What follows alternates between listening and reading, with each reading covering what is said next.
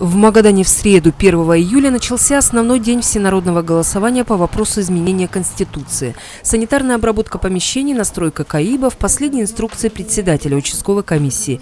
С 7 часов утра на избирательных участках кипела работа.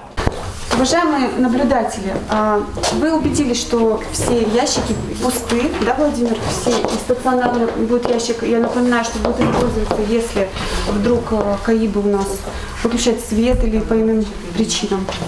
Сегодняшний день войдет в историю как особенный. Впервые такой временной интервал. Целую неделю отвели на голосование. В целях максимального разведения потока людей на участках оно началось 25 июня. Избирателям дали возможность поставить галочку в бюллетене дома и на свежем воздухе.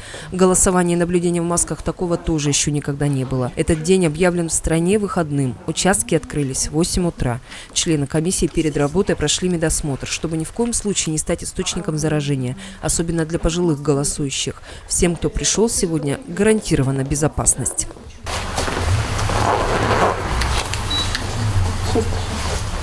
Пожалуйста, а возьмите индивидуальный набор. Там маска, ручка и перчатки.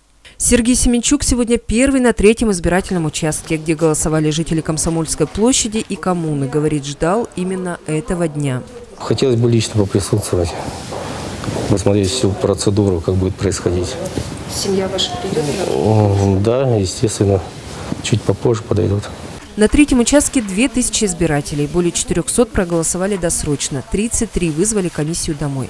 Нарушений не регистрировали, заявлений с жалобами от граждан не поступало. За полчаса с момента открытия здесь проголосовало более 30 человек много молодых и люди пожилого возраста. Особенно радует, когда приходят люди а, в возрасте с семьями, то есть бабушка и дедушка, очень, очень мило. 39 городских избирательных участков закрыли свои двери в 20 часов. Сейчас идет подсчет голосов сразу по всем семи дням голосования. Изменение основного закона посвящено новым требованиям, выдвигаемым к президенту, членам правительства и госчиновникам разного уровня.